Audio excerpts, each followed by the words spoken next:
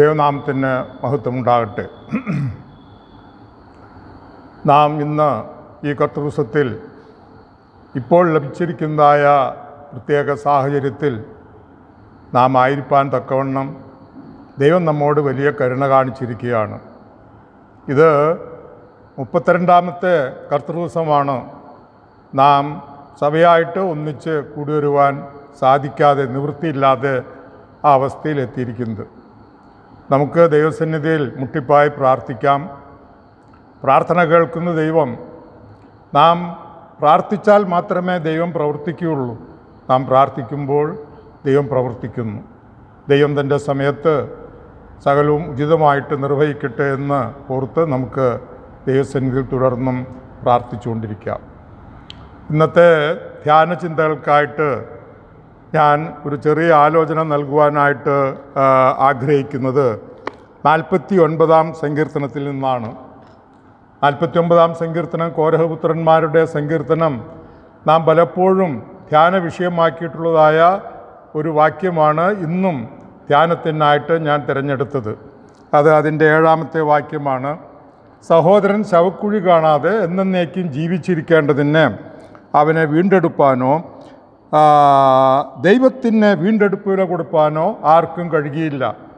അവരുടെ പ്രാണന്റെ വീണ്ടെടുപ്പ് വിലയേറിയത് അത് ഒരു നാളും സാധിക്കുകയില്ല ഈ വാക്യത്തിൽ നാം പ്രത്യേകിച്ച് കുറിക്കൊള്ളേണ്ടതായ രണ്ട് പദപ്രയോഗങ്ങൾ.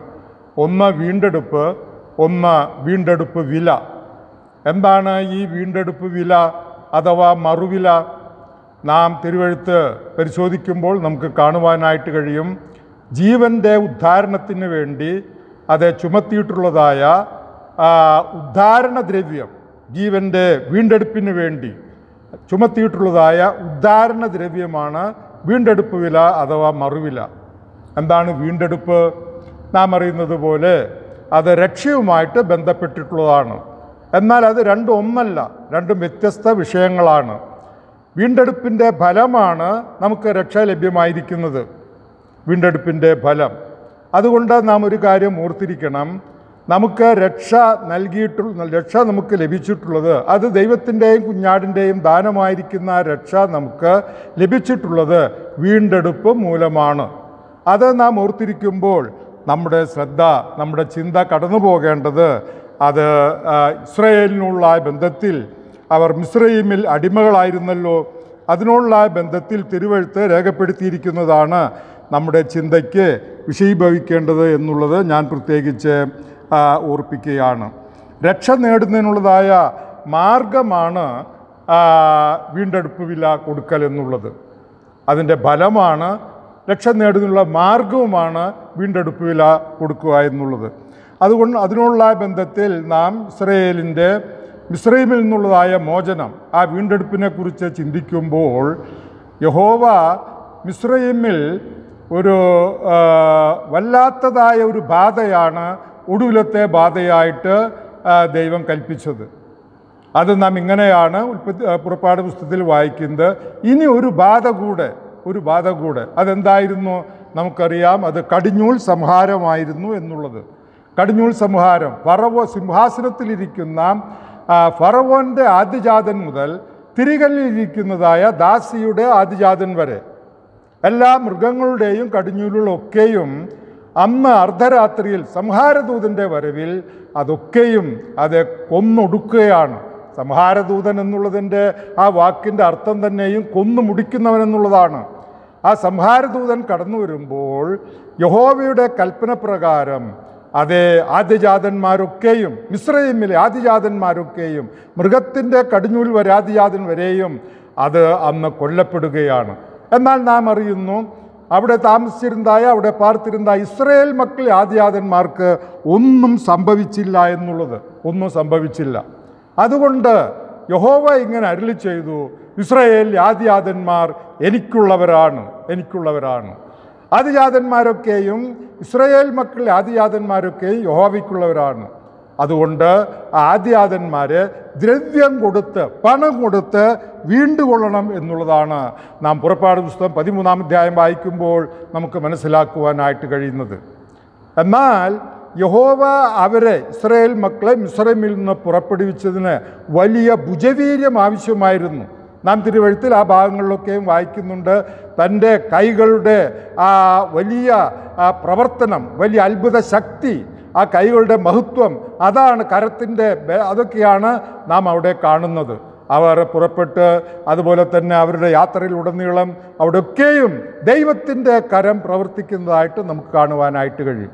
അപ്പോൾ അവർ മിസ്രൈമിൽ നിന്ന് ഉള്ളതായ അവരുടെ വിടുതൽ തന്നെ നാം ആ വീണ്ടെടുപ്പിനോടും അതുപോലെ മറുവിലയോടും ബന്ധത്തിൽ ചിന്തിക്കുമ്പോൾ നമുക്കൊരു കാര്യം മനസ്സിലാക്കുവാനായിട്ട് കഴിയും. അവരുടെ അവിടെ നിന്നുള്ളതായ വീണ്ടെടുപ്പ് അത് അത് മറുവില കൊടുക്കലായിരുന്നു. അതിനെന്താണ് മറുവില കൊടുത്തത്?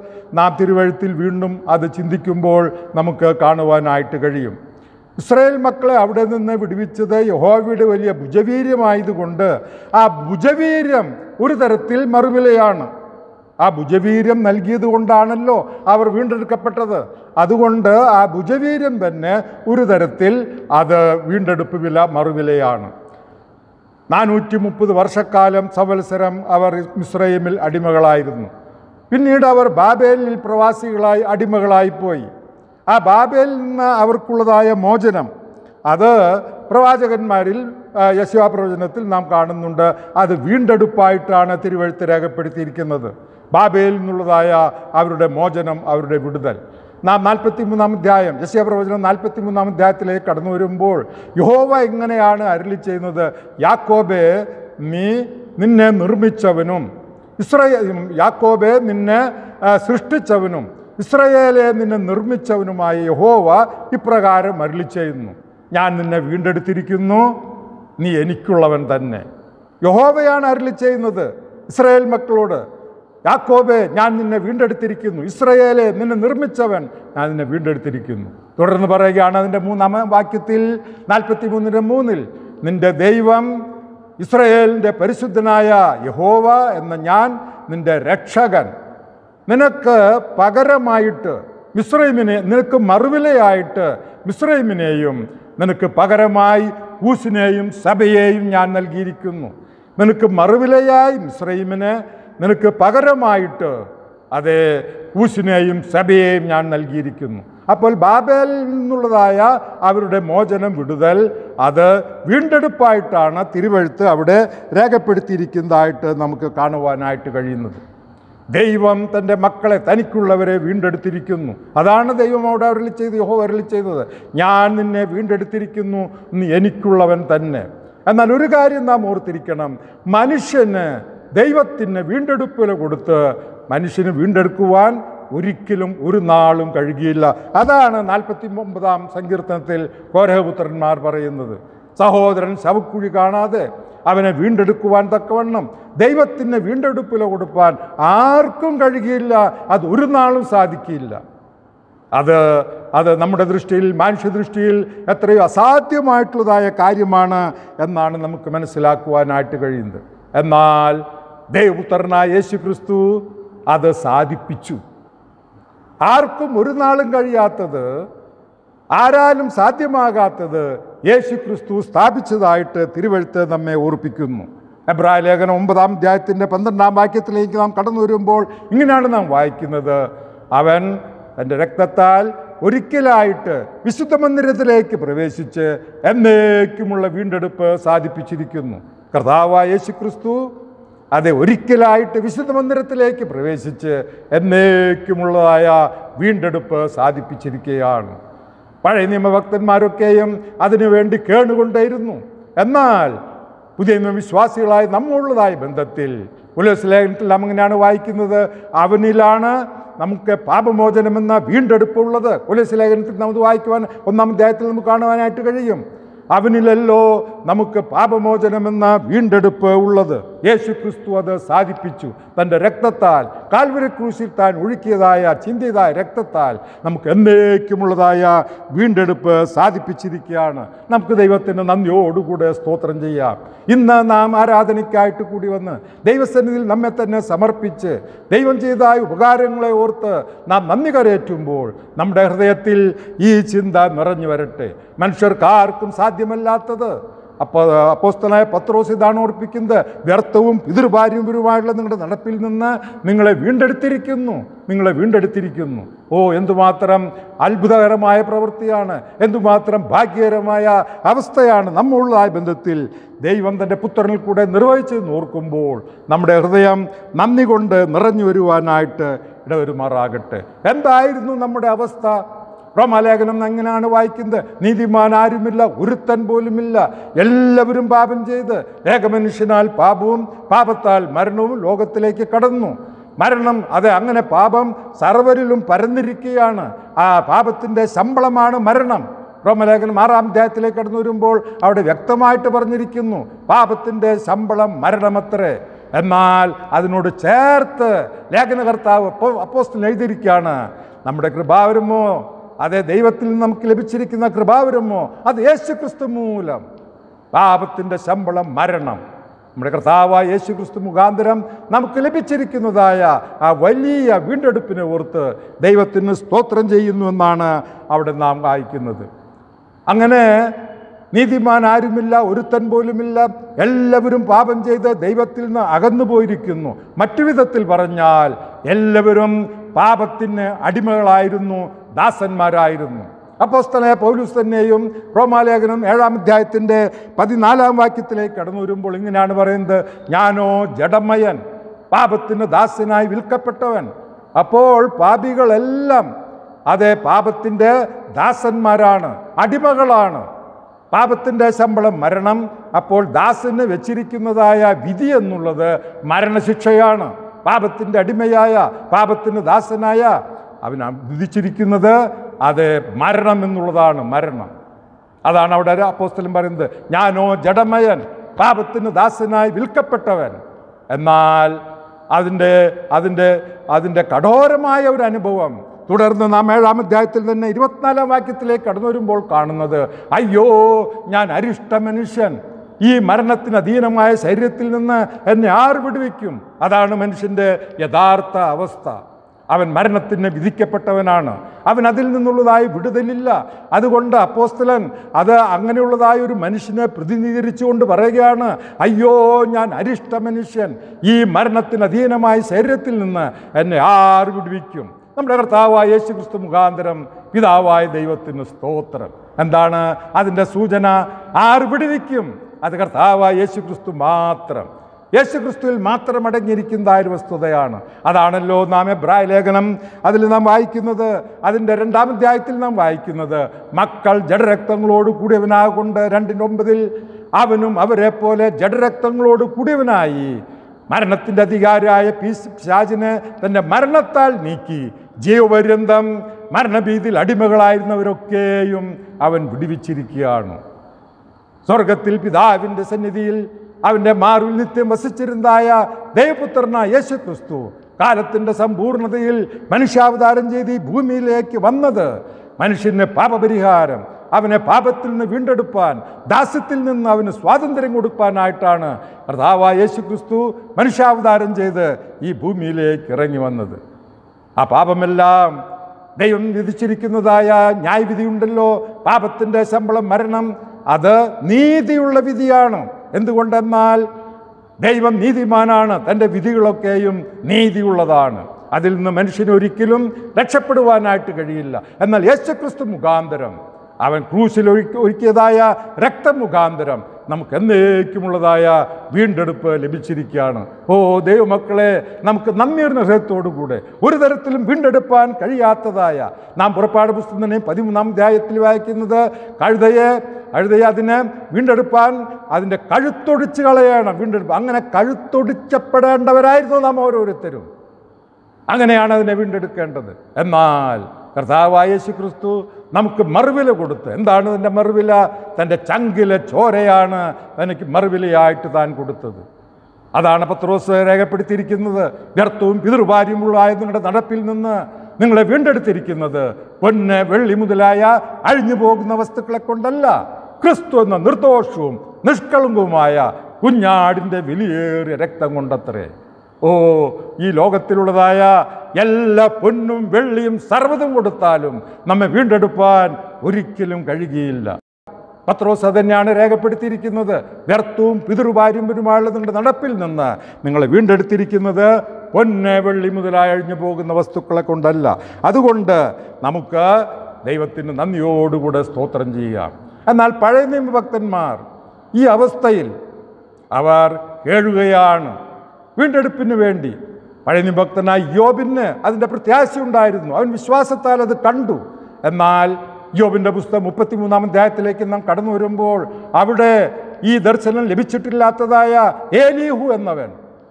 യോബിന്റെ കഷ്ടത്തിന്റെ ആ തീച്ചുളയിൽ അവനെ കാണുവാൻ വന്ന മൂന്ന് സ്നേഹിതന്മാരോട് ചേർന്ന് ഏലീഹു എന്ന ഒരു ഇതിനുമുണ്ടായിരുന്നു അവൻ പറയുന്നത് മനുഷ്യന് മനുഷ്യനോട് അവന്റെ ധർമ്മം അറിയിക്കേണ്ടുന്നതിന് മുപ്പത്തിമൂന്നിന്റെ ഇരുപത്തിനാലാമത്തെ വാക്യം. നാം ഇങ്ങനെയാണ് വായിക്കുന്നത്. മനുഷ്യനോട് അവന്റെ ധർമ്മം അറിയിക്കേണ്ടതിന് ആയിരത്തിൽ ഒരുവനായി ആയിരത്തിൽ ഒരുവൻ മധ്യസ്ഥനായ ഒരു ദൂതൻ അവന് വേണ്ടി ഉണ്ട് എന്ന് വരികിൽ. അവൻ അവങ്കൽ കൃപ വിചാരിച്ച് കുഴിയിലിറങ്ങാതെ വണ്ണം ഇവനെ രക്ഷിക്കണമേ. ഞാനൊരു മറുവില കണ്ടിരിക്കുന്നു എന്ന് പറയും. എലിഹു എലിഹുവിന് അത്രമാത്രമേ ആ കാഴ്ചപ്പാടുണ്ടായുള്ളൂ. എന്നാൽ ഇയോബ് പഴയ നിഭക്തനായ ഇയോബ് തന്റെ കഷ്ടതയുടെ നീർച്ചുളയിലും അങ്ങേയറ്റം താൻ കഷ്ടതയുടെ അവന്റെ സഹിഷ്ണുത അതാണ് യാക്കോബ പോസ്റ്റിൽ രേഖപ്പെടുത്തിയിരിക്കുന്നത് അത് നാം ഓർക്കണം. അങ്ങനെയുള്ളതായ അവസ്ഥയിലും തനിക്ക് ആ പ്രത്യാശയുണ്ടായിരുന്നു. അതുകൊണ്ടാണ് യോവിന്റെ പുസ്തകം പത്തൊമ്പതാം അധ്യായത്തിലേക്ക് കടന്നു വരുമ്പോൾ നാം ഇങ്ങനെ കാണുന്നത്. എന്റെ വീണ്ടെടുപ്പുകാരൻ ജീവിച്ചിരിക്കുന്നു. എന്റെ തൊക്കെങ്ങനെ നശിച്ച ശേഷം അതേ അവൻ ഒടുവിൽ പൊടിമേൽ നിൽക്കുമെന്നും ഞാൻ ദേഹസഹിതനായി എന്റെ തൊക്കിങ്ങനെ നശിച്ച ശേഷം ഞാൻ ദേഹത്തോടുകൂടെ ദേഹസഹിതനായി അവനെ കാണും. അവൻ പൊടിമേൽ നിൽക്കുമെന്ന് പറഞ്ഞാൽ അവൻ ഭൂമിയിൽ ഭരിപ്പാനായിട്ട് പോവുകയാണ്. ലോകത്തെ മുഴുവൻ അടക്കി വാഴുവാനായിട്ട് പോവുകയാണ്. ആ പ്രത്യാശ വിശ്വാസത്താൽ യോബ് കണ്ടു. അതുകൊണ്ട് യോബ് ചോദിക്കുകയാണ് മർത്യൻ ദൈവസന്നിധിയിൽ എങ്ങനെ നീതിമാനാകും? മർത്തിന് ദൈവസന്നിധിയിൽ നീതിമാനാകുവാൻ കഴിയുകയില്ല. അവനോട് നാം വ്യവഹരിപ്പാൻ തുനിഞ്ഞാൽ അവന്റെ ആയിരം വാക്കുകൾക്ക് നമുക്ക് ഒരു വാക്ക് പോലും ഉത്തരം പറയുവാൻ കഴിയുകയില്ല. ഒരു വാക്ക് പോലും ഉത്തരം പറയുവാൻ കഴിയും അതാണ് ഈ യോബ് പറയുന്നത്. എന്നാൽ അവന്റെ വിത്യാ വിശ്വാസത്താലുള്ളതായ പ്രത്യാശയിൽ അവൻ പറഞ്ഞു എന്റെ വീണ്ടെടുപ്പുകാരൻ ജീവിച്ചിരിക്കുന്നു. അവനോടുവിൽ പൊടിമേൽ നിൽക്കും. എന്റെ തൊക്കിങ്ങനെ നശിച്ച ശേഷം ഞാൻ ദേഹസഹിതനായി അവനെ കാണും. അവൻ പൊടിമേൽ അവൻ ഭൂമിയിൽ. അവൻ വരുന്നത് ഞാൻ കാണുമെന്നാണ് യോബ് അവിടെ രേഖപ്പെടുത്തിയിരിക്കുന്നത്. നാം ഈ വീണ്ടെടുപ്പ് വീണ്ടെടുപ്പ് വില എന്നുള്ളതിന് മറുവില എന്നുള്ള ബന്ധത്തിൽ നാം ചിന്തിക്കുമ്പോൾ ഒരു കാര്യം നാം പ്രത്യേകം ഓർത്തിരിക്കണം. ഇത്രയും വലിയ വില കൊടുത്ത് വാങ്ങിയതായ മനുഷ്യവർഗത്തെ തന്റെ പുത്രന്റെ ചങ്കിലെ ചോരയാണ് അതിന് മറുവിലയായിട്ട് കൊടുത്തത്. അങ്ങനെ വില കൊടുത്ത് വാങ്ങിയതായ മനുഷ്യൻ ഞാനൊരു സാധനം വില കൊടുത്ത് വാങ്ങിയാൽ അതെനിക്കുള്ളതാണ്. അത് തന്നെയാണ് തിരുവഴുത്ത് രേഖപ്പെടുത്തിയിരിക്കുന്നത്. ആ വില കൊടുത്ത് വാങ്ങിയിട്ടുള്ളവരൊക്കെയും ദൈവത്തിന്റെ വകയാണ്. ദൈവത്തിന്റെ വകയാണ്. വീണ്ടെടുപ്പ് വെറും വിമോചനമല്ല വെറും സ്വാതന്ത്ര്യമല്ല. അത് വില കൊടുത്ത് വാങ്ങിയിട്ടാണ് സ്വതന്ത്രനാക്കുന്നത്. ആ വലിയ വിലയാണ് കൊടുത്തിരിക്കുന്നത്. അങ്ങനെ കൊടുത്തതായ വില കൊടുത്ത് വാങ്ങിയിരിക്കുന്നവർ ദൈവത്തിന്റെ വകയാണ്. ദൈവത്തിനുള്ളവരാണ്. ദൈവത്തിനായി വിലയ്ക്ക് വാങ്ങി എന്നാണ് നാം വെളിപ്പാട് പുസ്തകത്തിൽ വായിക്കുന്നത്. വെളിപ്പാട് പുസ്തകം നാലും അഞ്ചും അധ്യായങ്ങൾ നാം അറിയുന്നത് പോലെ സ്വർഗീയ ആരാധനയുടെ ചിത്രമായിട്ടാണ് യോഹന്നാൻ അവിടെ രേഖപ്പെടുത്തിയിരിക്കുന്നത്. യോഹന്നാൻ ഉണ്ടായ ദർശനം. നാലും അഞ്ചും അധ്യായത്തിൽ സ്വർഗീയ ആരാധനയാണ് നാം കാണുന്നത്. സ്വർഗത്തിൽ വെച്ചിരിക്കുന്ന ആ ഒരു സിംഹാസനം. അതിലൊരുവൻ ഇരിക്കുന്നു. അവന്റെ കയ്യിൽ ആ അകത്തും പുറത്തും എഴുത്തുള്ളതായി ഏഴു മുദ്രയാൽ മുദ്രയിട്ടിരിക്കുന്ന ഒരു പുസ്തകം. നാലാം അധ്യായത്തിൽ നിന്ന് കാണുവാനായിട്ട് കഴിയും. സിംഹാസനത്തിന് ചുറ്റും ഇരുപത്തിനാല് സിംഹാസനം. ആ ഇരുപത്തിനാല് സിംഹാസനത്തിൽ ഇരുപത്തിനാല് മൂപ്പന്മാർ. അതേ സിംഹാസനത്തിന് മുമ്പിലും ഈ ഇരുപത്തിനാല് മൂപ്പന്മാരുടെ സിംഹാസനത്തിന് ചുറ്റിലുമായിട്ട് അത് നാല് ജീവികൾ. അവർ അത് രാപ്പകൽ ദൈവത്തെ സ്തുതിക്കുകയാണ്. എന്നാൽ ദൈവത്തിനായിട്ട് വിലയ്ക്ക് വാങ്ങിയെന്ന് അവരെപ്പോഴാണ് പറയുന്നത്? ആ സിംഹാസനത്തിന്റെയും സിംഹാസനത്തിന്റെയും ജീവികളുടെയും നടുവിലും മുപ്പന്മാരുടെ മധ്യത്തിലും ഒരു കുഞ്ഞാട് അർക്കപ്പെട്ടതുപോലെ നിൽക്കുന്നത് യോഹന്നാൻ കണ്ടു. ആ കുഞ്ഞാട് വന്നു. സിംഹാസനത്തിലിരിക്കുന്ന വലം കയ്യിൽ നിന്ന് അഞ്ചാം അധ്യായത്തിൽ നമുക്ക് കാണുവാൻ കഴിയും. സിംഹാസനത്തിലിരിക്കുന്ന വലം കയ്യിൽ നിന്ന് പുസ്തകം വാങ്ങി. അപ്പോൾ നാല് ജീവികളും ഇരുപത്തിനാല് മുപ്പന്മാരും. ഓരോരുത്തൻ വീണയും അതെ വിശുദ്ധന്മാരുടെ പ്രാർത്ഥന എന്ന ധൂപകലശം നിറഞ്ഞ ധൂപവർഗം നിറഞ്ഞ പൊൻകലശവും പിടിച്ചുകൊണ്ട് കുഞ്ഞാടിന്റെ മുമ്പാകെ വീണു. ശ്രദ്ധിക്കുക പുസ്തകം വാങ്ങുവാൻ അതിന്റെ മുദ്ര പൊട്ടിപ്പാൻ നീ യോഗ്യൻ. നീ അർക്കപ്പെട്ടു നിന്റെ രക്തം കൊണ്ട് നിന്റെ രക്തം കൊണ്ട് സർവഗോത്രത്തിലും ഭാഷയിലും വംശത്തിലും ജാതിയിൽ നിന്നുള്ളവരെ ദൈവത്തിനായി വിലയ്ക്ക് വാങ്ങി. ക്രൂസിൽ തന്റെ ചങ്കിലെ രക്തം കൊടുത്ത് വിലയ്ക്ക് വാങ്ങിയപ്പെട്ടുള്ളവർ ദൈവത്തിന്റെ വകയാണ് ദൈവത്തിനുള്ളവരാണ്. അതാണ് നാം അവിടെ കാണുന്നത്. വെളിപ്പാട് പുസ്തകം അഞ്ചാം അധ്യായത്തിന്റെ ഒമ്പതാം വാക്യത്തിൽ നാം ഇങ്ങനെ കാണുന്നു. ദൈവത്തിനായി വിലയ്ക്ക് വാങ്ങി. നാം ദൈവത്തിന്റെ വകയാണെങ്കിൽ ദൈവത്തിനായിട്ട് വിലയ്ക്ക് വാങ്ങപ്പെട്ടവരാണെങ്കിൽ ഒരു കാര്യം നാം ഓർത്തിരിക്കണം. നാം ശരീരത്തിലും ആത്മാവിലും ദൈവത്തെ മഹത്വപ്പെടുത്തി സത്യാരാധന ആത്മാവിൽ അവനെ ആരാധിക്കേണ്ടതാണ്. ദൈവം ആത്മാവാകുന്നു നാം അവൻ ആത്മാവിൽ ആരാധിക്കണം. ഈ കർത്തൃ ദിവസത്തിലും ഇന്നത്തെ പ്രത്യേക സാഹചര്യത്തിൽ നമുക്ക് സഭയായി ഒന്നിച്ചുകൂടി കർത്തൃമേശ ആചരിച്ച് നമുക്ക് അത് ആരാധന ആ കർത്തൃമേശയിൽ കൂടെ ആ സ്മാരക ശുശ്രൂഷ നിർവഹിച്ചുകൊണ്ട് ആരാധിപ്പാൻ നിർവൃത്തിയില്ല എന്ന് വരികിലും നന്ദിയുടെയും സ്തുതിയുടെയും സ്തോത്രത്തിന്റെയും ശബ്ദം അതരബലം സ്തോത്രയാഗം അർപ്പിച്ചുകൊണ്ട് ദൈവത്തെ നമുക്ക് ആരാധിപ്പാനുള്ളതായ വലിയ കൃപ ലഭിച്ചിരിക്കുന്നു ഓർത്ത് നമുക്ക് നന്ദിയോടുകൂടെ ദൈവത്തെ സ്തുതിക്കാം. അവന്റെ വിലയേറിയ നാമം മഹത്വപ്പെടുമാറാകട്ടെ. സ്വർഗീയ ആരാധനയിൽ നാം ഈ കാര്യം ചിന്തിക്കുമ്പോഴൊക്കെയും അപ്പോസ്തലയ പൗലൂസ് നൽകുന്നതായ ഭയനിർദ്ദേശം നാം ഓർത്തിരിക്കേണ്ടതാണ്. എന്താണ് അപ്പോസ്തലയ പൗലൂസ് നൽകുന്നതായ ഭയനിർദ്ദേശം? എബ്രായ ലേഖനത്തിൽ നാം ഇങ്ങനെ വായിക്കുന്നു ഇങ്ങനെയുള്ളതായ സാഹചര്യങ്ങളിൽ നാം ക്ഷീണിച്ചും മടുത്തും പോകുവാനിടയുണ്ട്. ഇപ്പോൾ തന്നെയും അനേകർക്ക് ബാധിച്ചിരിക്കുന്നതായ ഒരു പ്രത്യേക സ്ഥിതിവിശേഷമാണ് ക്ഷീണിച്ചും മടുത്തും പോയിരിക്കുന്നതായ ഒരു അവസ്ഥ അതുകൊണ്ട് എബ്രായ ലേഖനത്തിൽ നാം ഇങ്ങനെയാണ് വായിക്കുന്നത്? നിങ്ങൾ ക്ഷീണിച്ചും മടുത്തും പോകാതിരിപ്പാൻ പാപികളാൽ തനിക്ക് നേരിട്ട ഇങ്ങനെയുള്ള വിരോധം സഹിച്ചവനെ ധ്യാനിച്ചു കൊള്ളണം.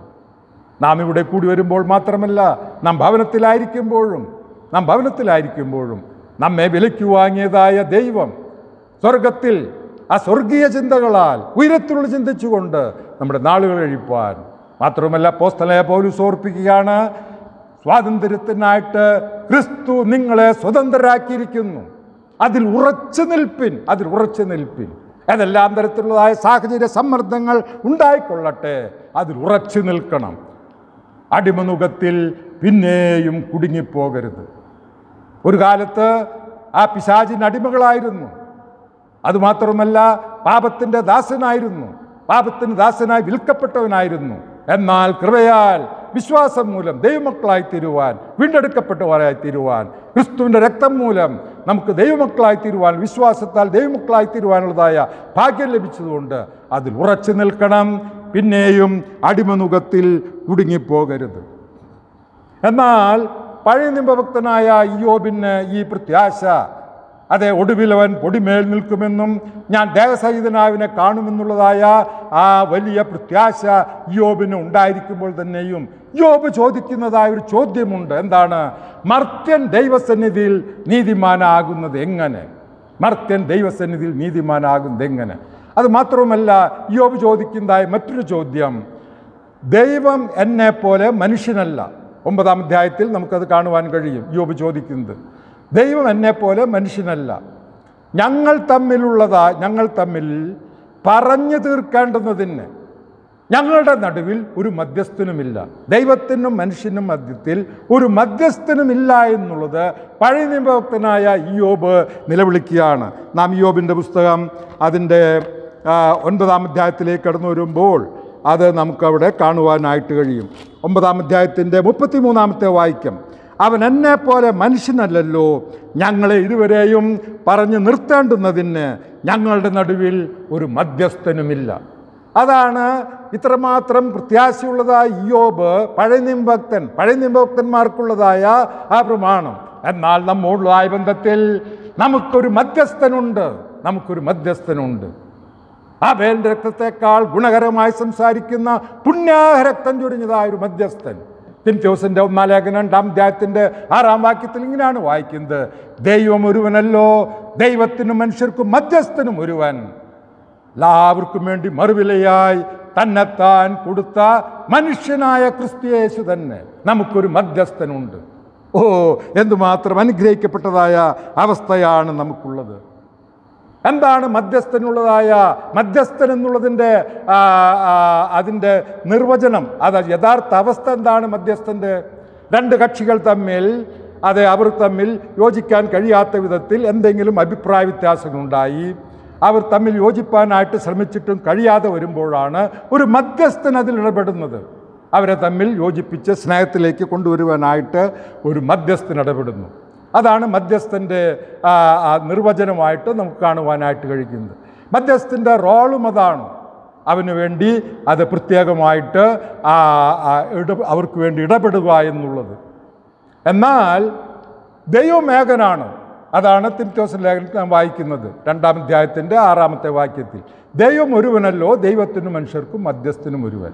അപ്പോൾ ഏകനായിരിക്കുന്ന ദൈവത്തിന് ഏകനായ ഒരു മധ്യസ്ഥൻ ഏകനായിരിക്കുന്ന മധ്യസ്ഥൻ. ഇന്ന് ലോകപ്രകാരം എത്രയോ മധ്യസ്ഥന്മാരുണ്ട്. എത്രയോ മധ്യസ്ഥന്മാർ നാമതേ ക്രിസ്ത്യാനികളൊക്കെയും ആ മധ്യസ്ഥന്മാരിൽ കൂടെയാണ് അവർ കാര്യങ്ങളെ ദൈവത്തോട് അറിയിക്കുന്നത്. അതിന് ദൈവം കാതു കൊടുക്കുന്നില്ല. എന്നാൽ ദൈവത്തിനും മനുഷ്യർക്കും മധ്യസ്ഥനായ ഏകൻ മാത്രം. എന്താണ്? എല്ലാവർക്കും വേണ്ടി. അതാണ് ആ മധ്യസ്ഥനുള്ളതായ യോഗ്യത. മറ്റു മധ്യസ്ഥന്മാർക്ക് ആർക്കും ആ യോഗ്യതയില്ല. ഇന്ന് ലോകത്തിൽ കാണുന്ന ഏതൊരു മധ്യസ്ഥനും ആ യോഗ്യത നമുക്ക് കാണുവാനായിട്ട് കഴിയില്ല. എല്ലാവർക്കും വേണ്ടി മറുവിലയായി തന്നെത്താൻ കൊടുത്തതായ മനുഷ്യനായ ക്രിസ്തുയേശു ദൈവത്തിന് മുൻപാകെ മനുഷ്യന് മധ്യസ്ഥനായിട്ട് വരുന്നവൻ ദൈവത്തിന് സ്വീകാര്യനായിരിക്കണം അവൻ ദൈവമായിരിക്കണം. മനുഷ്യന് മുമ്പാകെ മധ്യസ്ഥനായി വരുന്നവൻ മനുഷ്യന് സ്വീകാര്യനായിരിക്കണം അവൻ മനുഷ്യപുത്രനായിരിക്കണം. നമ്മുടെ കർത്താവായ യേശു ക്രിസ്തുവിനുള്ളായ ഏ വലിയ ഉദാത്തമായ ഒരു യോഗ്യത എന്നുള്ളത് അവൻ ഒരേ സമയം ദൈവവും ഒരേ സമയം മനുഷ്യനുമായിരുന്നു. പാതി ദൈവവും പാതി മനുഷ്യനുമല്ല. സമ്പൂർണ ദൈവവും സമ്പൂർണ മനുഷ്യനും. നാം കുലശലേഖനത്തിൽ വായിക്കുന്നത് അവനിലല്ലോ ദൈവത്തിന്റെ സർവസമ്പൂർണതയും ദേഹരൂപമായി വസിക്കുന്നത് ദേഹരൂപമായി വസിക്കുന്നത്. ദൈവത്തിന്റെ മുൻപാകെ അവൻ ദൈവപുത്രനായിരുന്നു ദൈവപുത്രനായിരുന്നു. മനുഷ്യന് മുമ്പാകെ അവൻ ദൈവപുത്രനും മനുഷ്യപുത്രനുമായിരുന്നു. ദൈവപുത്രൻ എന്നുള്ളത് അവന്റെ ജനനത്തിന് മുൻപേ തന്നെ ഗബ്രിയേൽ ദൂതൻ മറിയോട് പറഞ്ഞു ഉത്ഭവിക്കുന്ന വിശുദ്ധ പ്രജ ദൈവപുത്രൻ എന്ന് വിളിക്കപ്പെടും ശേഷം ആദ്യ ഭാഗത്ത് ആദ്യ അധ്യായത്തിൽ നിന്ന് കാണാൻ കഴിയും ഉത്ഭവിക്കുന്ന വിശുദ്ധ പ്രജ ദൈവപുത്രൻ എന്ന് വിളിക്കപ്പെടും. അവന്റെ ജനനത്തിന് ശേഷം പന്ത്രണ്ടാം വയസ്സിൽ അപ്പം അമ്മയപ്പന്മാരോടുകൂടെ പെരുന്നാളിന് എർസലേമിലേക്ക് പോയി. അവനെ കാണാതായപ്പോൾ അവൻ അന്വേഷിച്ചു അവൻ പറയുന്നത് ഞാൻ എന്റെ പിതാവിനുള്ളതിൽ ഇരിക്കേണ്ടതല്ലയോ? ദൈവത്തിന്റെ ആലയം എന്റെ പിതാവിനുള്ളതാണ് ഈ ആലയം. അപ്പോൾ അവൻ ദൈവത്തിന്റെ ആണ് അവന്റെ പിതാവ് ദൈവമാണ് അവൻ ദൈവപുത്രനാണ്. അവന്റെ പരസ്പുഷ സമയത്ത് അതിനു മുമ്പ് അവന്റെ സ്നാന സമയത്ത് വെള്ളത്തിൽ ജലത്തിൽ സ്നാനം കഴിപ്പാൻ കൽപ്പിച്ചതായ ദൈവം യോഹന്നാനോട് പറഞ്ഞു നീ ആരുടെ മേൽ ആത്മാവ് ഇറങ്ങുന്നതും വസിക്കുന്നതും കാണുന്നുവോ? അവൻ വാസ്തവമായി ദൈവപുത്രനാകുന്നു. യോഹന്നാൻ സ്നാപകനോട് ദൈവത്തിന്റെ അരുളപ്പാടുണ്ടായതാണ്. നീ ആരുടെ മേലാണിത് കാണുന്നത്? ആത്മാവ് ദേഹരൂപത്തിൽ വന്നിറങ്ങുന്നതും അവന്റെ മേൽ വസിക്കുന്നതിന് കാണുന്നത് അവൻ ദൈവപുത്രനാകുന്നു യോഹന്നാൻ പറയുകയാണ് ഞാനത് കണ്ടിരിക്കുന്നു. ആത്മാവ് പ്രാവെന്ന പോലെ പ്രാവെന്ന പോലെ അവന്റെ മേൽ ഇറങ്ങി. അത് ഞാൻ കണ്ടിരിക്കുന്നു. അവൻ ദൈവപുത്രനാണ്. മാത്രവുമല്ല അവൻ സ്നാനം കഴിഞ്ഞ് വെള്ളത്തിൽ നിന്ന് കയറിയപ്പോൾ സ്വർഗം തുറന്നു.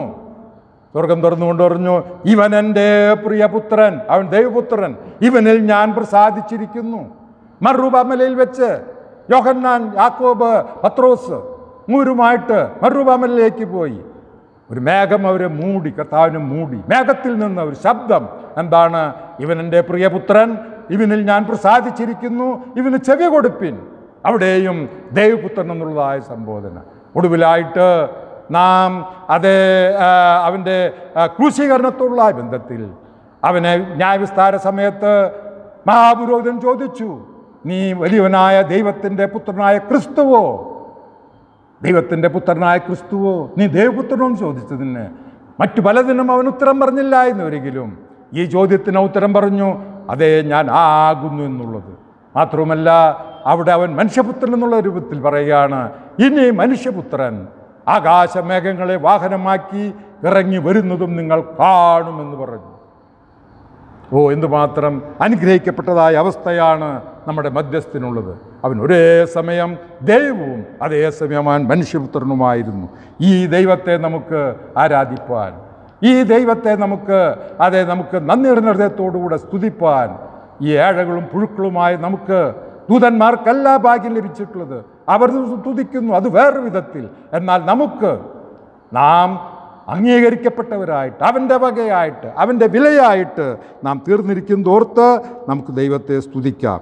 മനുഷ്യപുത്രൻ എന്നുള്ളതായ നിലയ്ക്ക് അവന് പാപം ക്ഷമിപ്പാനും പാപത്തിന് അതെ ന്യായവിധി കൽപ്പിപ്പാനുള്ളതായ അധികാരമുണ്ട്. മനുഷ്യന്റെ പ്രതിനിധിയായിട്ട് അവൻ മനുഷ്യപുത്രനായിരിക്കുന്നു. പാപം ക്ഷമിപ്പാനായിട്ട്. അതാണ് നമ്മത്തായി സുവിശേഷം ആറാം അധ്യായത്തിന്റെ ഇരുപത്തിയാറാം വാക്യത്തിൽ വായിക്കുന്നത് എന്താണ്? മനുഷ്യപുത്രന് പാപം ക്ഷമിപ്പാൻ. അത് മാത്രമല്ല ന്യായവിധി നടത്തുവാനുള്ളതായ അധികാരമുണ്ട് എന്നുള്ളത്. പത്തായ സുവിശേഷം പതിനാറിന്റെ ഇരുപത്തി ആറിലാണ് നമ്മൾ വായിക്കുന്നത്. അതിനുശേഷം പറയുകയാണ് മനുഷ്യപുത്രൻ ശുശ്രൂഷ ചെയ്യിപ്പാനല്ല ശുശ്രൂഷിപ്പാനും തന്റെ ജീവനെ മറുവിലയായി കൊടുപ്പാനും അത്രേ വന്നിരിക്കുന്നത് എന്താണ് ഓ എന്തുമാത്രം അനുഗ്രഹിക്കപ്പെട്ടതായ അവസ്ഥയാണ് നമുക്ക് ലഭിച്ചിരിക്കുന്നത് ഓർത്ത് നമുക്ക് ദൈവത്തെ സ്തുതിക്കാം. നമ്മെ വീണ്ടെടുത്തിരിക്കുന്നത് പൊന്നെ വെള്ളി മുതൽ അഴിഞ്ഞു പോകുന്ന വസ്തുക്കളെ കൊണ്ടല്ല. നമുക്ക് മറുവിലയായി കൊടുത്തത് ഈ ഭൂമിയിലെ പൊന്നും വെള്ളിയുമല്ല. എന്തുമാത്രം വിലപ്പെട്ട സാധ്യതകളുമല്ല. ദൈവത്തിന്റെ ഏകജാതനായ പുത്രൻ നമ്മുടെ വീണ്ടെടുപ്പുകാരൻ അവന്റെ ചങ്കിലെ ചോരയാണ് നമ്മുടെ വീണ്ടെടുപ്പുമില്ല. അതുകൊണ്ട് നാം ദൈവത്തിന്റെ വകയാണ്. ദൈവത്തിനായിട്ട് നാം വിലയ്ക്ക് വാങ്ങപ്പെട്ടവരാണ്. അതുകൊണ്ട് ആത്മാവിലും സത്യത്തിലും നാം ദൈവത്തെ ആരാധിച്ച് മഹത്വപ്പെടുത്തേണ്ടതാണ്. നാം എന്തിനാണ് കർത്തൃ ദിവസങ്ങളിൽ കൂടി വരുന്നത്? കർത്തൃ ദിവസത്തിൽ മാത്രമാണോ നാം ആരാധിക്കുന്നത്? നമുക്കെപ്പോഴും ഞാൻ എല്ലാ കാലത്തും യഹോവയെ സ്തുതിക്കും. അവന്റെ എപ്പോഴും എന്റെ നാവിന്മേൽ അവന്റെ സ്തുതി ഉണ്ടായിരിക്കും. നാം എപ്പോഴും യഹോവയെ സ്തുതിപ്പാൻ തക്കവണ്ണം. നമുക്ക് ലഭിച്ചിരിക്കുന്നതായ ഈ അനുഗ്രഹിക്കപ്പെട്ട അവസ്ഥയെ ഓർത്ത് ഇന്നും നമുക്ക് ദൈവത്തെ കൂടെ സ്മരിക്കാം. നൂറ്റിമൂന്നാം സങ്കീർത്തനക്കാരൻ പറയുന്നത് അവൻ ചെയ്ത ഉപകാരങ്ങൾ ഒന്നും മറക്കരുത്. നമ്മുടെ പ്രാണനെ നാശത്തിൽ നിന്ന് വീണ്ടെടുത്തു. നമ്മുടെ വായിക്ക് നന്മ കൊണ്ട് തൃപ്തി വരുത്തി. നമ്മെ ദൈവം കരുണി അണിയിച്ചു. ഓ എന്തുമാത്രം എന്തുമാത്രം അനുഗ്രഹിക്കപ്പെട്ടതായ അവസ്ഥയെ ഓർത്തുകൊണ്ട് നമുക്ക് ദൈവത്തിന് നന്ദിയോടുകൂടെ സ്തോത്രം ചെയ്യാം. ഒരു ഭയനിർദ്ദേശം കൂടെ ഞാൻ നിങ്ങളെ ഓർപ്പിക്കട്ടെ. ഈ കൂടിവരിൽ അങ്ങനെയുള്ളത് ആരുമില്ല എന്ന് വരികിലും ഇങ്ങനെ നമ്മെ രക്ഷിച്ചതായ ആ ആ രക്തത്തെ ആ വീണ്ടെടുപ്പുകാരന് നാം എബ്രാ ലേഖനത്തിലാണുള്ളത് വായിക്കുന്നത്. എബ്രാ ലേഖനം അതിന്റെ പത്താം അധ്യായത്തിന്റെ ഇരുപത്തി ഒൻപതാം വാക്യം. അവിടെ നാം ഇങ്ങനെ വായിക്കുന്നു. ദൈവപുത്രനെ ചവിട്ടിക്കളയുകയും ഇന്നും ഒരു കാലത്ത് രക്ഷിക്കപ്പെട്ട് ദൈവമക്കളായി തീർന്നവർ പിൽക്കാലത്ത് പിൻവാങ്ങിപ്പോയിട്ടുള്ളവർ. ഇവിടെ നാം വായിക്കുന്നത് വിശുദ്ധീകരിച്ച ദൈവം ദൈവപുത്രനെ ചവിട്ടിക്കളയുകയും തന്നെ വിശുദ്ധീകരിച്ച നിയമരക്തത്തെ നിയമരക്തത്തെ. തന്റെ ചങ്കിലെ ചോരയാണ് നമ്മുടെ നിയമരക്തം. ആ രക്തത്തെ മലിനമെന്ന് നിരൂപിക്കുകയും കൃപയുടെ ആത്മാവിനെ നിന്ദിക്കുകയും ചെയ്തവൻ എത്ര കഠിനമായ ശിക്ഷയ്ക്ക് പാത്രമാകുമെന്ന് വിചാരിപ്പിൻ. പ്രതിഫലം എനിക്കുള്ളത് പ്രതികാരം എനിക്കുള്ളത് ഞാൻ പകരം വീട്ടും. യഹോവയായ ദൈവമരുളി ചെയ്യുകയാണ്. ഇത് നാം ഭയത്തോടുകൂടെ ഓർത്തിരിക്കണം. ഭയത്തോടുകൂടെ ഓർത്തിരിക്കണം. കൃപയാൽ നമുക്ക് വിശ്വാസം മൂലം ദൈവമക്കളായി തീരുവാൻ കഴിഞ്ഞു. അവന്റെ കൃപയാൽ വീണ്ടെടുപ്പ് മൂലം നാം എന്നേക്കുമായിട്ട് വിശദീകരിക്കപ്പെട്ടിരിക്കുകയാണ് എന്നാൽ നമ്മെ രക്ഷിച്ചതായ ആ വീണ്ടെടുപ്പുകാരന് ദൈവപുത്രന് നാം നിന്ദിക്കരുത് നിന്ദിക്കരുത്. നമ്മെ വിശുദ്ധീകരിച്ചതായ നിയമരക്തത്തെ മലിനമെന്നെണ്ണി നാം ചവിട്ടിക്കളയരുത്. ആത്മാവിനെ കൃപയുടെ ആത്മാവിനെ നിന്ദിക്കുകയും ചെയ്യരുത്. ഇത് ഇന്ന് ഇവിടെ കൂടിയിരിക്കുന്നവരിൽ എല്ലാവരും ദൈവമക്കളാണ്. അവരുടെ അവസ്ഥയല്ല ഞാൻ പറയുന്നത്. എന്നാൽ അതിൽ നിന്ന് വിഭിന്നമായിട്ട് നമ്മുടെ മധ്യത്തിൽ ഒരു ചെറിയ ഒരു ന്യൂനപക്ഷമുണ്ട്. ഇതിൽ നിന്ന് അകന്ന് ഒരു കാലത്ത് അസന്തോഷം രക്ഷയുടെ സന്തോഷം അനുഭവിച്ചുകൊണ്ട് അതെ വളരെയധികം ദൈവത്തെ സ്തുതിച്ചുകൊണ്ടിരുന്നവർ പിൽക്കാലത്ത് പിൻവാങ്ങിപ്പോയി. അവരോടുള്ള ബന്ധത്തിൽ പറയുകയാണ് ഞാൻ പ്രതികാരം എനിക്കുള്ളത് ഞാൻ പകരം വിട്ടു. നമുക്കുള്ളതായ ഏക മധ്യസ്ഥൻ. ദൈവത്തിനും മനുഷ്യർക്കും നടുവിൽ യോബ് വിലപിച്ചു. എന്നാൽ നമുക്ക് വിലപിക്കേണ്ട ആവശ്യമില്ല. ദൈവം ഒരുവനല്ലോ. ദൈവത്തിനും മനുഷ്യർക്കും മധ്യസ്ഥനും ഒരുവൻ. ഈ ദൈവകൃപയെ ഓർത്തുകൊണ്ട് നമുക്ക് ലഭിച്ചിരിക്കുന്നതായ ഏറ്റവും അനുഗ്രഹിക്കപ്പെട്ട അവസ്ഥയെ ഓർത്തുകൊണ്ട് ഇന്ന് രാവിലെയും നമുക്ക് ദൈവത്തെ ആരാധിപ്പാൻ തക്കവണ്ണം സ്തുതിപ്പാൻ തക്കവണ്ണം ഇടവരട്ടെ എന്ന് പറഞ്ഞുകൊണ്ട് ഞാൻ എന്റെ വാക്കുകൾ നിർത്തുന്നു. ദൈവനാമം ഇന്നും എന്നേക്കും മഹത്വപ്പെടുമാറാകട്ടെ. ഓരേ ബിൽ ഒരു പഴയ ഗാനമുണ്ട് എന്റെ മനസ്സിലേക്ക് കടന്നു വന്നത്. അതിന്റെ ഒരു അടി പാടുവാനായിട്ട് ആഗ്രഹിക്കുകയാണ്. ഓരേബിൻ അഗ്നിജ്വാലയിൽ ആകാശനാദ തുല്യം നിൻ പാപശാപം ഏൽക്കുവാൻ ആർ മധ്യസ്ഥം യേശുതാൻ നിൻ മധ്യസ്ഥൻ മോശയെ കളേറിയോൻ ദൈവകോപത്തിയിൽ താൻ വെന്തെരിഞ്ഞനാഥൻ. യേശുതാൻ നിൻ മധ്യസ്ഥൻ മോശയെ ദൈവകോപത്തിയിൽ താൻ വെന്തെരിഞ്ഞനാഥൻ. സ്തോത്രം ചെയ്യാം. ക്രിസ്തീയസിലൂടെ ഞങ്ങളെ നിത്യമായി സ്നേഹിച്ചിരിക്കുന്ന ഞങ്ങളുടെ വാത്സല്യ പിതാവാം ദൈവമേ ഞങ്ങൾ അങ്ങയെ സ്തുതിക്കുന്നു അങ്ങയെ മഹത്വപ്പെടുത്തുന്നു. ഈ കർത്ത ദിവസത്തിന്റെ രാവിലെ സമയവും ഞങ്ങൾക്ക് അവിടുത്തെ സന്നിധിയിൽ കൂടി വരുവാൻ ഇടയാക്കുന്നു എന്നുള്ളത് ഓർത്ത് ഞങ്ങൾ അങ്ങയെ സ്തുതിക്കുന്നു. ഞങ്ങളുടെ ചുറ്റുപാടുമുള്ള പരിതസ്ഥിതി ഞങ്ങൾക്ക് ഒട്ടും അനുകൂലമല്ല എന്ന് അവിടുന്ന് അറിയുന്നു ഓർത്തവേ. അങ്ങനെ അങ്ങനെയുള്ള പരിമിതിയുടെ മധ്യത്തിലും ഞങ്ങൾക്ക് അവിടുത്തെ സന്നിധിയിൽ കടന്നു വരുവാൻ അവിടുന്ന് ഇടിയാക്കുന്നല്ലോ സ്തോത്രം. ഞങ്ങളായിരിക്കുന്ന സ്ഥാനത്തൊക്കെ ഇരുന്നു കൊണ്ട് തന്നെ അങ്ങേ ആരാധിച്ച് മഹത്വപ്പെടുത്തുവാൻ ഒരു സാവകാശം ഞങ്ങളുടെ ജീവിതത്തിൽ അവിടുന്ന് ഞങ്ങൾക്ക് നൽകി. വലിയനായ ദൈവത്തെ ഈ ഭൂമിയിലിരുന്ന് ആരാധിക്കുക എന്നുള്ള ശ്രേഷ്ഠമായ പദവിയിലേക്ക് അവിടുന്ന് ഞങ്ങളെ ഉയർത്തിയല്ലോ അതിനായിട്ട് സ്തോത്രം. അതിന് മുഖാന്തരമായി തീർന്ന അവിടുത്തെ പുത്രനും ഞങ്ങളുടെ രക്ഷിതാവുമായ യേശു കർത്താവിനെ ഓർത്ത് പിതാവെ ഞങ്ങൾ സ്തുതിക്കുന്നു. ഞങ്ങളുടെ പാപങ്ങളുടെ പരിഹാരം പുത്രന്റെ കാരുണ്യക്കൂശിലെ യാഗഭരണത്താൽ അവിടുന്ന് സാധ്യമാക്കി തീർത്തല്ലോ. അത് കൃപയാൽ വിശ്വാസത്താൽ അംഗീകരിച്ച് അവിടുത്തെ മക്കളായി തീരുവാൻ ഞങ്ങളോട് കാണിച്ച വലിയ കൃപയ്ക്കായിട്ട് നന്ദി പറയുന്നു ഞങ്ങൾക്ക് ലഭിച്ച വലിയേറിയ രക്ഷയ്ക്കായിട്ട് സ്തോത്രം. ഞങ്ങൾ അങ്ങേ സ്തുതിക്കുകയും അങ്ങേ ആരാധിക്കുകയും അങ്ങേ മഹത്വപ്പെടുത്തുകയും ചെയ്യുന്നു. ഞങ്ങളുടെ ഏഴകളായ ഞങ്ങളുടെ സ്തുതിയും സ്തോത്രവും സ്വീകരിപ്പാൻ അവിടുന്ന് ശ്രദ്ധ വെച്ചിരിക്കുന്നു എന്നുള്ളത് ഓർത്ത് ഞങ്ങളങ്ങേ സ്തുതിക്കും. സ്തുതി സ്തോത്രം സ്വീകരിപ്പാൻ യോഗ്യനായിട്ട് സ്വർഗത്തിൽ അധിവസിക്കുന്ന മഹാദൈവത്തെ ഈ ഭൂമിയിലിരുന്ന് ഏഴകളും എളിയവരുമാകുന്ന ഞങ്ങൾക്ക് ആരാധിക്കുവാൻ അവിടുന്ന് ഇടയാക്കിയല്ലോ. ഞങ്ങളങ്ങേ സ്തുതിക്കുന്നു അങ്ങേ മഹത്വപ്പെടുത്തുന്നു. അതാവേ ഞങ്ങൾ ഓർത്തതുപോലെ സഹോദരൻ ശവക്കുഴി കാണാതെ എന്നേക്കും ജീവിച്ചിരിക്കേണ്ടതിന് അവനെ വീണ്ടെടുപ്പാനോ അവന് അവന്റെ വീണ്ടെടുപ്പിന്റെ വില കൊടുക്കുവാനോ ആർക്കും സാധ്യമല്ല. എന്നാൽ മനുഷ്യർക്കാൾ മനുഷ്യരാൽ അസാധ്യമായത് ദൈവത്താൽ സാധ്യം എന്ന് ഞങ്ങൾ ഓർത്ത് ഞങ്ങൾ ദൈവത്തെ ദൈവമേ അങ്ങേ സ്തുതിക്കുന്നു. ഞങ്ങളുടെ വീണ്ടെടുപ്പിന്റെ വില അവിടുന്ന് അവിടുത്തെ പുത്രൻ മുഖാന്തരം കാവറിക്കോസിൽ നൽകിയല്ലോ. അത് ഓർത്ത് സ്തോത്രം. അത് മുഖാന്തരം ഞങ്ങൾക്ക് ലഭിച്ച ദാനമായി ലഭിച്ച രക്ഷയ്ക്കായിട്ട് നന്ദി പറയുന്നു കർത്താവേ. ആ രക്ഷ ഞങ്ങളുടെ ജീവിതത്തിൽ അനുഭവിപ്പാൻ ഇടയാക്കിയതോർത്ത് ഞങ്ങളങ്ങേ സ്തുതിക്കുന്നു. ഞങ്ങളുടെ നാട് കടന്നു പോകുന്ന വിപരീതമായ സാഹചര്യത്തെ ഞങ്ങൾ ഓർത്ത് തിരുമുഖത്തേക്ക് നോക്കി പ്രാർത്ഥിക്കുന്നു. കർത്താവ് ദീർഘനാളുകളായിട്ട് ഞങ്ങൾ ഓർത്ത പോലെ മുപ്പത്തിരണ്ട് കറുത്ത ദിവസങ്ങളായിട്ട് ഞങ്ങൾക്ക് സഭയായിട്ട് ഒരുമിച്ച് കൂടി വരുവാൻ ഇടയായിട്ടില്ല എന്ന് ഞങ്ങൾ വളരെ ദുഃഖത്തോടു കൂടെ ഓർക്കുന്നു. കർത്താവെ അവിടുന്ന് അറിഞ്ഞിട്ടാണ് ഈ കാര്യങ്ങളൊക്കെ സംഭവിക്കുന്നത്. കർത്താവെ ഞങ്ങളത് ഓർത്ത് തിരുമുഖത്തേക്ക് നോക്കുന്നു. ഇതിനൊരു മാറ്റം വരുവാൻ ഞങ്ങൾ ആഗ്രഹിച്ച് പ്രാർത്ഥിക്കുന്നു. ഞങ്ങൾക്ക് സഭയായിട്ട് ഞങ്ങളുടെ പ്രായമുള്ള സഹോദരന്മാരും സഹോദരിമാരും അതുപോലെ ചെറിയ മക്കളും ഒരുമിച്ച് കടന്നു വന്ന് അങ്ങേ ആത്മാവത്തിലും സത്യത്തിലും ആരാധിച്ച് ദൈവജന ശുശ്രൂഷ അനുഭവിച്ച് പിരിഞ്ഞു പോകുന്ന ആ മഹനീയമായ അവസ്ഥയിലേക്ക് ഞങ്ങൾ അവിടുന്ന് വീണ്ടും നടത്തണം എന്ന് നിങ്ങളിലേക്ക് നിങ്ങൾക്ക് പ്രാർത്ഥിക്കുന്നു. രോഗത്തിന്റെ ആ പ്രയാസം കഠിനതയൊക്കെ മാറി ആശ്വാസം ലഭിക്കാൻ അവിടുന്ന് ഇടയാക്കണം. ഞങ്ങൾ ഈ നാളുകളിൽ സർക്കാർ ഞങ്ങൾക്ക് അനുവദിച്ചിട്ടുള്ള ആ രീതിയിലൊക്കെ ഞങ്ങൾക്ക് കടന്നു വന്ന് ചില കൂട്ടങ്ങളൊക്കെ ആയിട്ട് ചെറിയ കൂട്ടങ്ങളായിട്ട് കടന്നു വന്ന് അങ്ങേ ആരാധിപ്പാനൊക്കെ ഇടയാകുന്നു. അത് വേണ്ടുവോളം പ്രയോജനപ്പെടുത്തുവാൻ അവിടുന്ന് ഞങ്ങളെ സഹായിക്കണം. ആ ശുശ്രൂഷകളെ ആരും ഉപേക്ഷയായി കരുതുവാൻ ഇടയാകരുത്. കഴിവ് ആവുന്നിടത്തോളം പ്രായ ആ പ്രായപരിധിയുള്ളവരൊക്കെ കടന്നു വന്ന് അങ്ങേ മഹത്വപ്പെടുത്താൻ അവിടുന്ന് സഹായിക്കണം. ദൈവജനം ശ്രദ്ധിപ്പാനൊക്കെ ഇടയാക്കണം. ഞങ്ങൾ ഈ മാധ്യമത്തിൽ കൂടെ അങ്ങേ മഹത്വപ്പെടുത്തുവാനും ദൈവജനം ശ്ര- ശ്രദ്ധിപ്പാനൊക്കെ ഇടയാകുന്നു എന്നുള്ളത് ഓർത്ത് ഞങ്ങൾ അങ്ങേ സ്തുതിക്കുകയും അങ്ങേ മഹത്വപ്പെടുത്തുകയും ചെയ്യുന്നു. ഞങ്ങളുടെ മധ്യത്തിൽ പ്രായത്തിലും ക്ഷീണത്തിലുമായിരിക്കുന്ന അനേക സഹോദരി സഹോദരന്മാരുണ്ട്. അങ്ങനെയുള്ളവരെ ഞങ്ങൾ ഓർത്ത് പ്രാർത്ഥിക്കുന്നു. അവരൊക്കെ ആയിരിക്കുന്ന അവരുടെ ഭവനത്തിന്റെ അവസ്ഥയിൽ അവിടുന്ന് അവരെ കാക്കുകയും സൂക്ഷിക്കുകയും പരിപാലിക്കുകയും ചെയ്യണം എന്ന് പ്രാർത്ഥിക്കുന്നു. രോഗത്തിന്റെ അവസ്ഥയിലായിരിക്കുന്നവർക്ക് രോഗത്തിൽ നിന്ന് വിടുതൽ നൽകി അവരെ അവിടുന്ന് സൂക്ഷിക്കണം എന്ന് പ്രാർത്ഥിക്കുന്നു. അന്നത്തിന്റെ ദുഃഖം അനുഭവിക്കുന്ന ഭവനങ്ങൾ ഞങ്ങളുടെ മധ്യത്തിലുണ്ട് കർത്താവേ. അവർ ആ ഭവനങ്ങളിലുള്ളവർക്കൊക്കെ അവിടുത്തെ ദൈവമായ സമാധാനം ഈ നാളുകളിൽ ലഭിപ്പാൻ അവിടുന്ന് കരുണ ചെയ്യണം സഹായിക്കണം എന്ന് പ്രാർത്ഥിക്കുന്നു.